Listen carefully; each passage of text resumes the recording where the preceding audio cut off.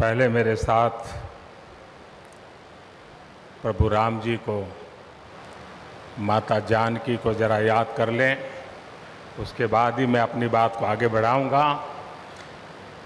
शियावर रामचंद्र की शियावर रामचंद्र की, जय सिया राम जय सिया राम आज ये जयघोष सिर्फ़ सियाराम की नगरी में ही नहीं सुनाई दे रहा, बल्कि इसकी गुंज पूरे विश्व भर में है। सभी देशवासियों को और विश्व भर में फैले करोड़ों करोड़ों भारत भक्तों को, राम भक्तों को आज के इस पवित्र अवसर पर कोटि कोटि बधाई।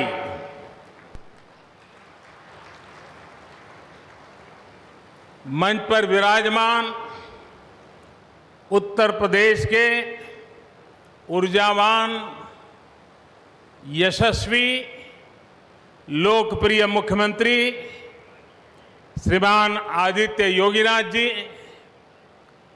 यूपी की गवर्नर बहन आनंदीबेन पटेल जी, परम पूज्य नृत्य गोपाल दास जी महाराज और हम सभी के श्रद्धे आदरणीय मोहनराव भागवत जी।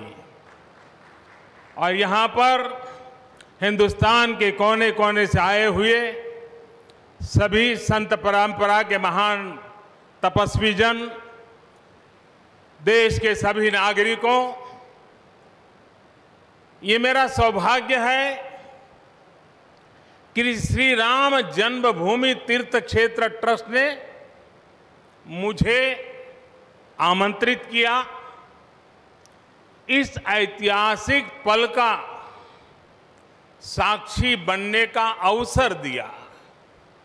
मैं इसके लिए हृदयपूर्वक श्री राम जन्मभूमि तीर्थ क्षेत्र ट्रस्ट का आभार व्यक्त करता हूँ।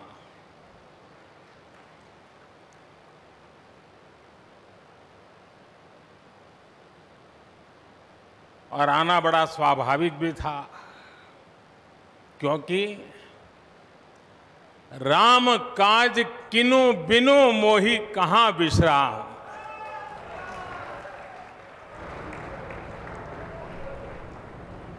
भारत आज भगवान भास्कर के सानिध्य में सरयू के किनारे एक स्वर्णिम अध्याय रच रहा है।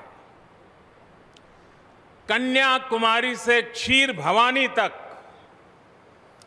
कोटेश्वर से कामाख्या तक, जगन्नाथ से केदारनाथ तक, सोमनाथ से काशी विश्वनाथ तक, समेत शिखर से श्रवण बेलगोला तक, बोध गया से सारनाथ तक, अमृतसर साहब से पटना साहिब तक, अंडमान से अजमेर तक, लक्षद्वीप से लेह तक, आज पूरा भारत राममय है।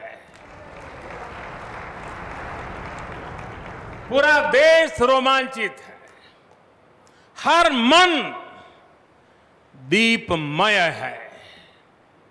आज पूरा भारत भावुक है।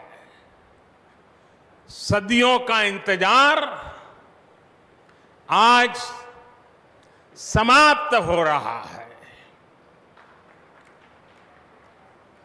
करोड़ों लोगों को आज ये विश्वास ही नहीं हो रहा होगा कि वो अपने जीते जी इस पावन दिन को देख पा रहे हैं।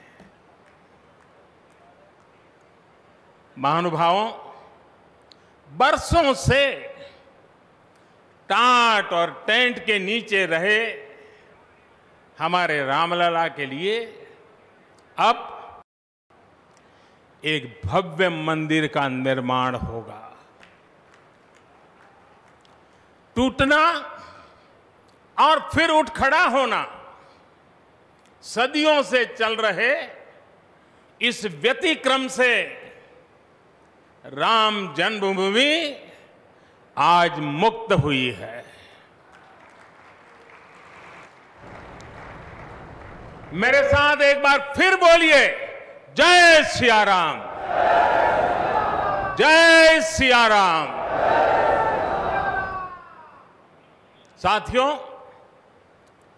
हमारे स्वतंत्रता आंदोलन के समय कई कई पीढ़ियों ने अपना सब कुछ समर्पित कर दिया था। गुलामी के कालखंड में कोई ऐसा समय नहीं था जब आज़ादी के लिए आंदोलन न चला हो। देश का कोई भूभाग ऐसा नहीं था जहाँ आज़ादी के लिए बलिदान न दिया गया हो। 15 अगस्त का दिन उस अथाह तप का लाखों बलिदानों का प्रतीक है। स्वतंत्रता की उस उत्कंठ इच्छा, उस भावना का प्रतीक है। ठीक उसी तरह राम मंदिर के लिए कई कई सदियों तक कई कई पीढ़ियों ने अखंड, अविरत एक निष्ठ प्रयास किया है। आज का ये दिन उसी तप, त्याग और संकल्प का प्रतीक है। राम मंदिर के लिए चले आंदोलन में अर्पण भी था। तर्पण भी था, संघर्ष भी था, संकल्प भी था। जिनके त्याग, बलिदान और संघर्ष से आज ये स्वप्न साकार हो रहा है, जिनकी तपस्या राम मंदिर में नींव की तरह जुड़ी हुई है मैं उन सब लोगों को 130 करोड़ देशवासियों की तरफ़ से सर झुका करके नमन करता हूँ। उनका वंदन करता हूँ। संपूर्ण सृष्टि की शक्तियाँ राम जन्मभूमि के पवित्र आंदोलन से जुड़ा हर व्यक्तित्व जो जहाँ है, इस आयोजन को देख रहा है। वो भाव विभोर है। सभी को आशीर्वाद दे रहा है। साथियों, राम हमारे मन में गढ़े हुए हैं। हमारे भीतर धूल मिल गए हैं। कोई काम करना हो तो प्रेरणा के लिए हम भगवान राम की ओर ही देखते हैं। आप भगवान राम की अद्भुत शक्ति देखिए। इमारतें नष्ट हो गई।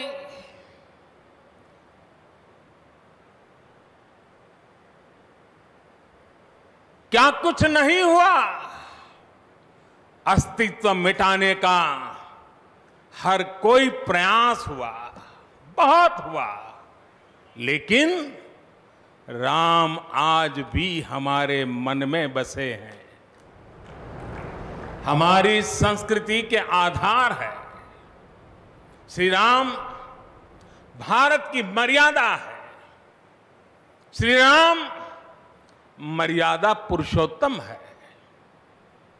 इसी आलोक में, अयोध्या में राम जन्मभूमि पर श्री राम के इस भव्य दिव्य मंदिर के लिए आज भूमि पूजन हुआ है।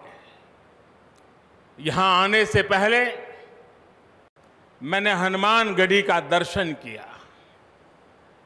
राम के सब काम हनुमान ही तो करते हैं। राम के आदर्शों की कलयुग में रक्षा करने की ज़िम्मेदारी भी हनुमान जी की ही है। हनुमान जी के आशीर्वाद से श्री राम मंदिर भूमि पूजन का आयोजन शुरू हुआ है।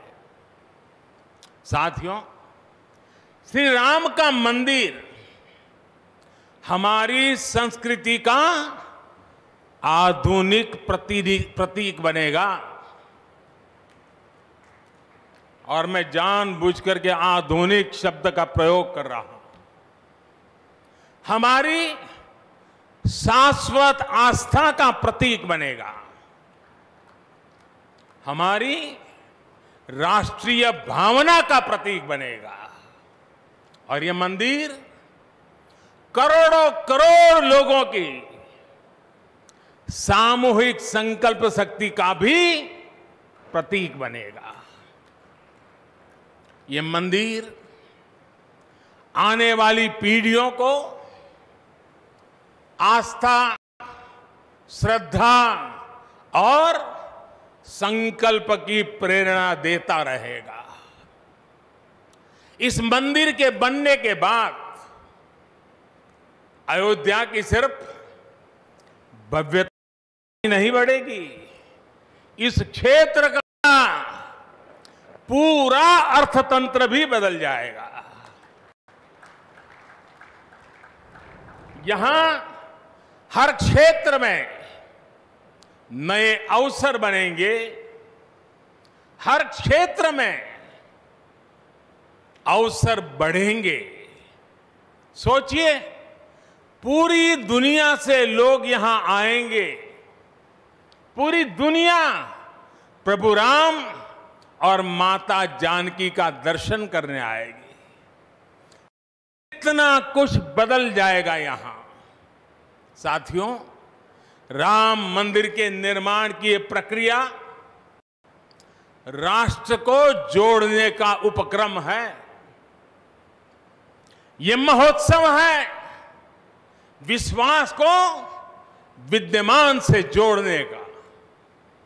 नर को नारायण से जोड़ने का, लोक को आस्था से जोड़ने का, वर्तमान को अतीत से जोड़ने का और स्व को संस्कार से जोड़ने का।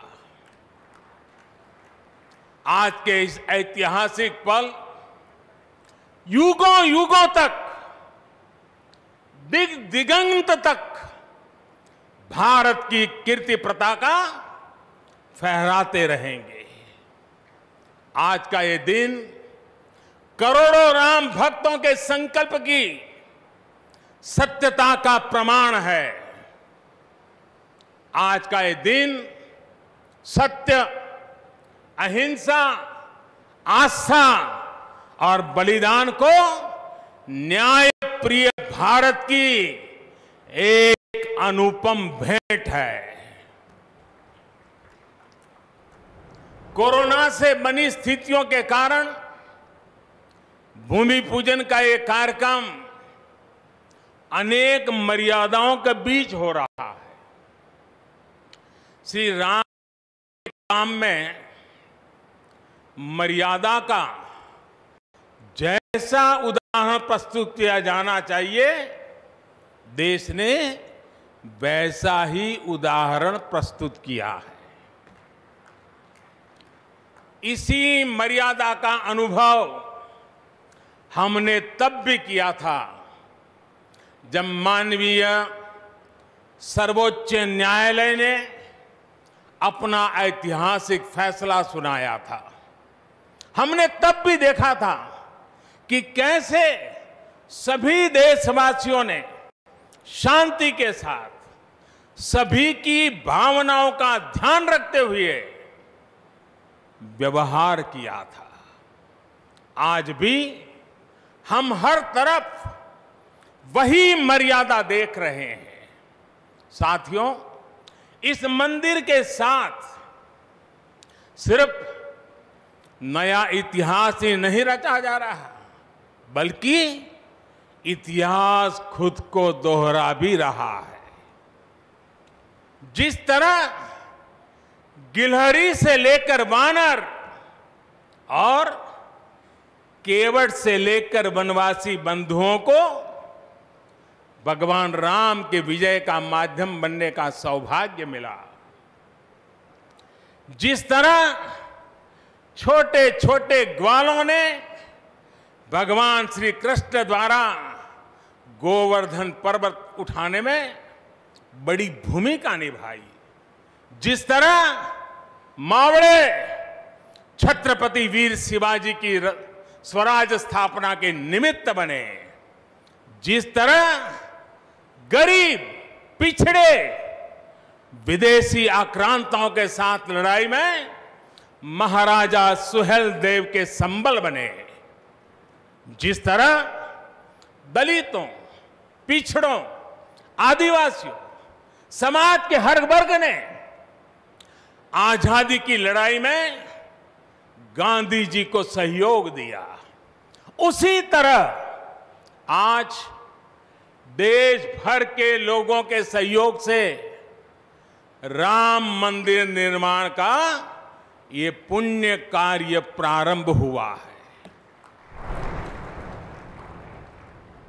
हम जानते हैं, जैसे पत्थरों पर श्री राम लिखकर, पत्थरों पर श्री राम लिखकर राम सेतु बनाया गया। वैसे ही घर घर से, गाँव गाँव से श्रद्धा पूर्वक पूजी शिलाएँ यहाँ ऊर्जा का स्रोत बन गई है।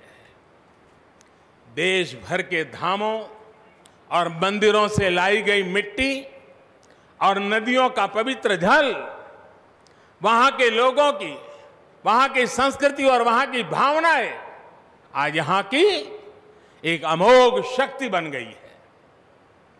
वाकई वाकई, ये न भूतो, न भविष्यति है।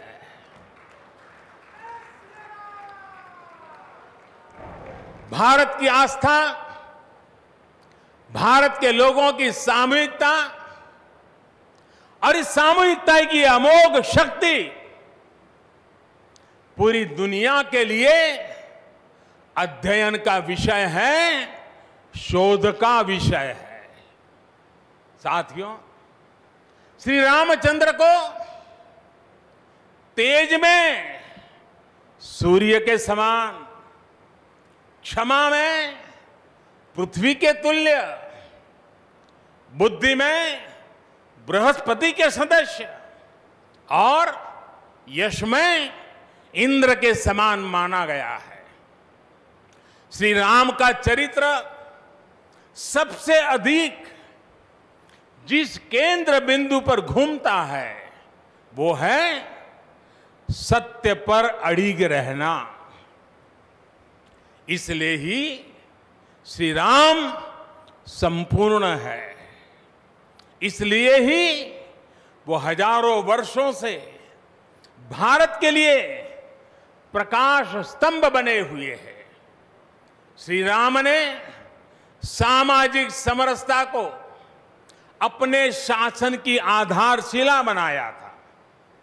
उन्होंने गुरु वशिष्ठ से ज्ञान, केवट से प्रेम, सबरी से मातृत्व हनुमान जी एवं वनवासी बंधुओं से सहयोग और प्रजा से विश्वास प्राप्त किया। यहाँ तक कि एक गिलहरी की महत्ता को भी उन्होंने सहर स्वीकार किया। उनका अद्भुत व्यक्तित्व, उनकी वीरता, उनकी उदारता, उनकी सत्यनिष्ठा, उनकी निर्भीकता, उनका धैर्य, उनकी दृढ़ता उनकी दार्शनिक दृष्टि युगों युगों तक प्रेरित करते रहेंगे। राम प्रजा से एक समान प्रेम करते हैं, लेकिन गरीबों और दीन दुखियों पर उनकी विशेष कृपा रहती है। और इसीलिए तो माता सीता राम जी के लिए कहती है, दीन दयाल बिरिदु संभारी। यानी जो दीन है, जो दुखी हैं, उनकी बिगड़ी बनाने वाले श्री राम है। साथियों, जीवन का ऐसा कोई पहलू नहीं है, जहाँ हमारे राम प्रेरणा न देते हो। भारत की ऐसी कोई भावना नहीं है जिसमें प्रभु राम झलकते न हो। भारत की आस्था में राम है। भारत के आदर्शों में राम है। भारत की दिव्यता में राम है। भारत के दर्शन में राम है।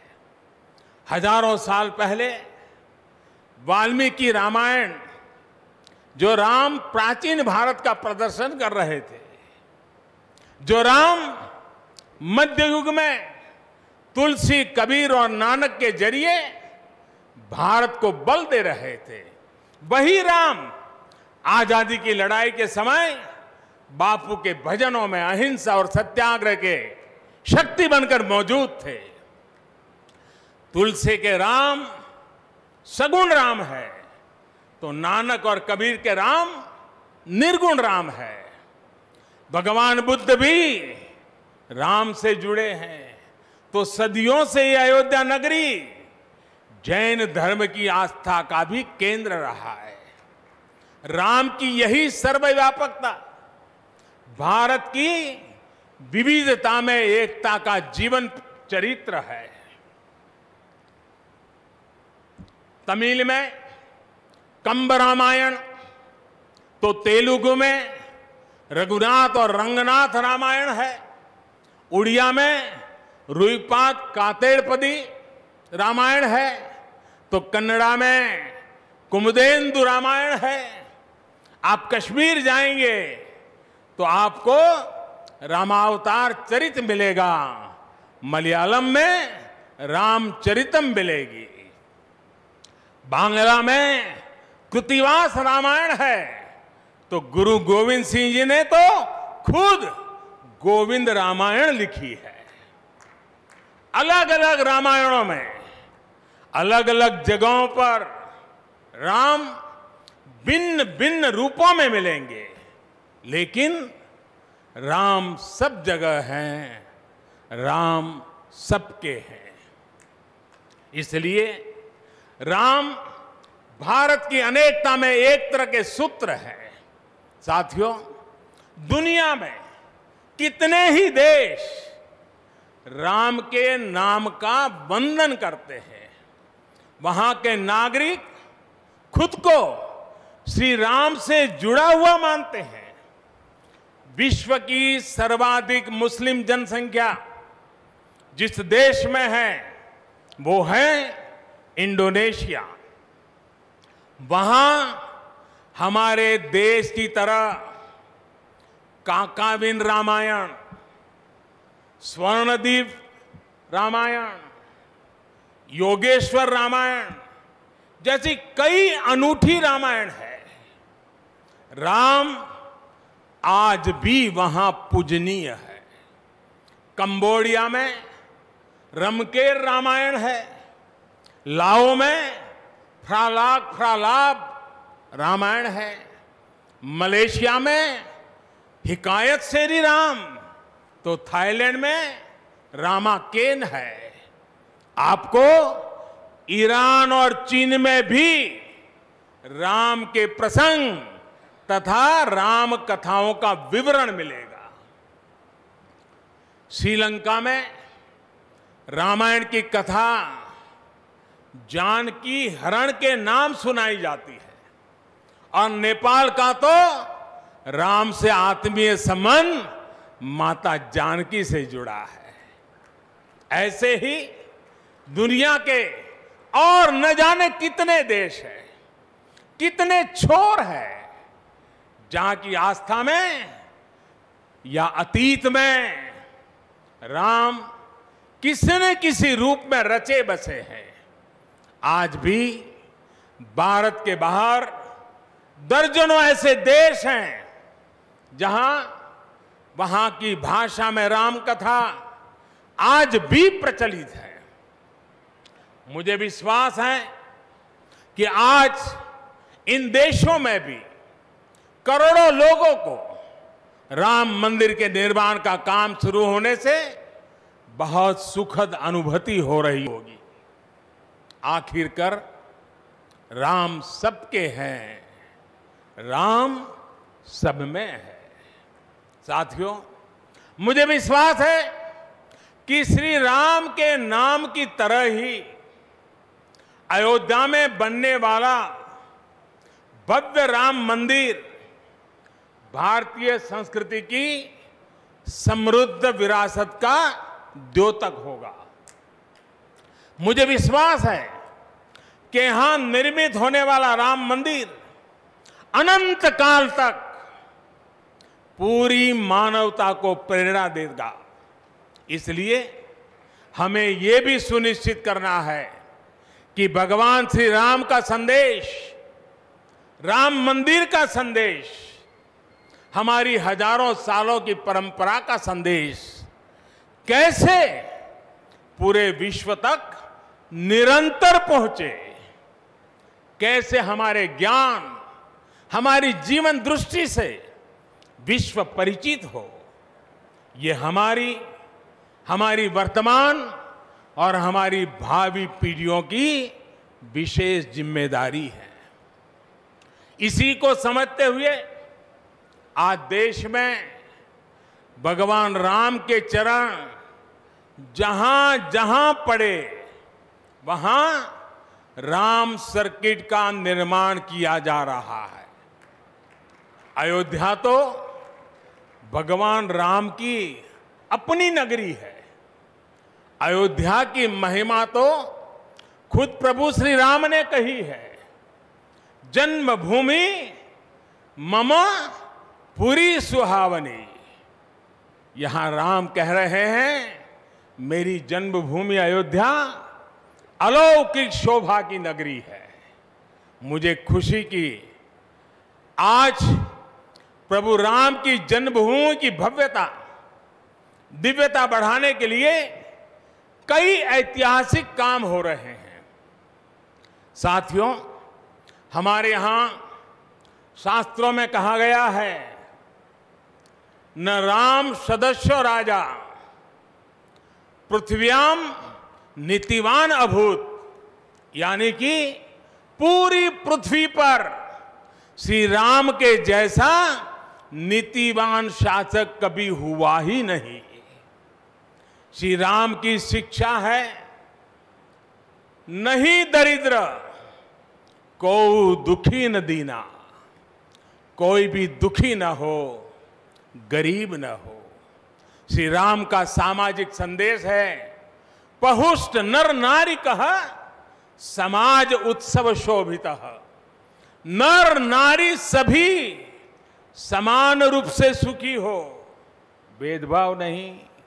श्री राम का निर्देश है, कच्चित ते दयती है, सर्वे है, कृषि गोरक्ष जीविना। किसान, पशुपालक, सभी हमेशा खुश रहे। श्री राम का आदेश है, कश्चित वृद्धांच, बालांच वैद्यान मुखान राघव। त्रिभी ऐते बुभूष से बुज़ुर्गों की, बच्चों की, चिकित्सकों की सदैव रक्षा होनी चाहिए। ये कोरोना ने हमको बराबर सिखा दिया है। श्री राम का आह्वान है जो सभित आवाज़ सरनाई, रखी हूँ ताही प्राण की नाई। जो शरण में आए, उसकी रक्षा करना सभी का कर्तव्य है। श्री राम जी का ही संदेश है। श्री राम जी का भी कमिटमेंट है। जननी जन्मभूमिश्च स्वर्गादपि गरीयसी। अपनी मातृभूमि स्वर्ग से भी बढ़कर होती है। और भाइयों बहनों, ये भी श्री राम की नीति है। और वो क्या है? भय बिनु हो न प्रीति। इसलिए हमारा देश जितना ताकतवर होगा, उतनी ही प्रीति और शांति भी बनी रहेगी। राम की यही नीति, राम की यही रीति सदियों से भारत का मार्गदर्शन करती रही है। राष्ट्रपिता महात्मा गांधी ने इन्हीं सूत्रों, इन्हीं मंत्रों के आलोक में राम राज्य का सपना देखा था। राम का जीवन, उनका चरित्र ही गांधी जी के राम राज्य का रास्ता है। साथियों, स्वयं प्रभु श्री राम ने कहा है देश काल अवसर अनुआहरी, बोले वचन विनित विचारी अर्थात राम समय, स्थान और परिस्थितियों के हिसाब से बोलते हैं। सोचते हैं, करते भी है। राम हमें समय के साथ बढ़ना सिखाते हैं। समय के साथ चलना सिखाते हैं। राम परिवर्तन के पक्षगर है। राम आधुनिकता के पक्षगर है। उनकी इन्हीं प्रेरणाओं के साथ, श्री राम के आदर्शों के साथ भारत आज आगे बढ़ रहा है। साथियों, प्रभु श्री राम ने हमें कर्तव्य पालन की सीख दी है। अपने कर्तव्यों को कैसे निभाएँ, इसकी सीख दी है। उन्होंने हमें विरोध से निकलकर बोध और शोध का मार्ग दिखाया है। हमें आपसी प्रेम और भाईचारे के जोड़ से राम मंदिर की इन शिलाओं को जोड़ना है। हमें ध्यान रखना है, जब जब मानवता ने राम को माना है, विकास हुआ है। जब जब हम भटके हैं, विनाश के रास्ते खुले हैं। हमें सभी की भावनाओं का ध्यान रखना है। हमें सबके साथ से, सबके विश्वास से सबका विकास करना है। अपने परिश्रम अपनी संकल्प शक्ति से, एक आत्मविश्वासी और आत्मनिर्भर भारत का निर्माण करना है। साथियों, तमिल रामायण में श्री राम कहते हैं, कालम ताण, इंड इनुम इरितु पोलाम। भाव ये कि अब देरी नहीं करनी है, अब हमें आगे बढ़ना है। आज भारत के लिए भी, हम सबके लिए भी भगवान राम का यही संदेश है। मुझे विश्वास है, हम सब आगे बढ़ेंगे, देश आगे बढ़ेगा। भगवान राम का ये मंदिर युगों युगों तक मानवता को प्रेरणा देता रहेगा, मार्गदर्शन करता रहेगा। वैसे कोरोना की वजह से जिस तरह के हालात हैं, प्रभु राम का मर्यादा का मार्ग आज और अधिक आवश्यक है।